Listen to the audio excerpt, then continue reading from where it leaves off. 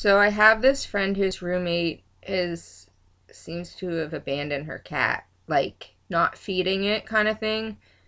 She did this the last time too when she was running out of food. She just let the cat run out of food and then she went and bought more food. Well, um you know, yesterday or a couple of days ago whenever it was, she ran out of food and she hasn't gotten the food yet. So um my friend is just went out and bought a can of tuna and you know is gonna buy her uh, roommate some cat food um, but the roommate um, just seems to be like totally like she doesn't care about her cat. Like that night that the cat ran out of food she went out and didn't come home for like 24 hours.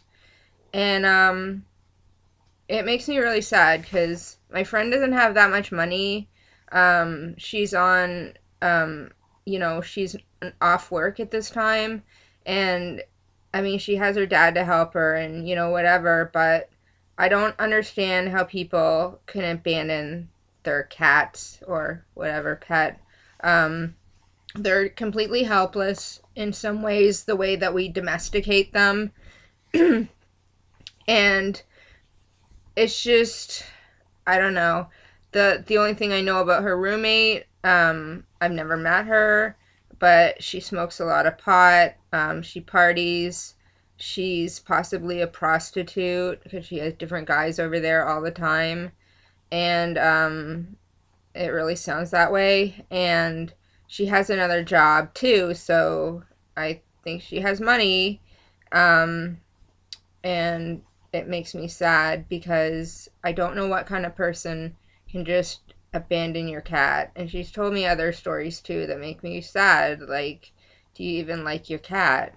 And um, I look into my cat's eyes and I think, oh, they're the cutest things ever. They're so adorable. You touch them, they're so soft and they're just amazing the way they purr. And I love my cats so much. Um, I'm possibly codependent on my cats. I worry about my cats if I go out. Like, I'm counting the hours. Like, are they okay? You know, and we feed them.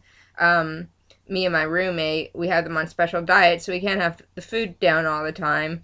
Um, but we'd have to work something out if both of us got sick at the same time because my roommate's a lot of the time um, away or has been hospitalized a bunch of times. Um, anyway, you know what? I even told my friend, you know, um, I'll take that cat if she doesn't want it. And, you know, um, I'm not really supposed to be spending a lot of money, but um, I can't help it, you know, like, oh my god, I love cats. And who would do that? Is it is it the drugs?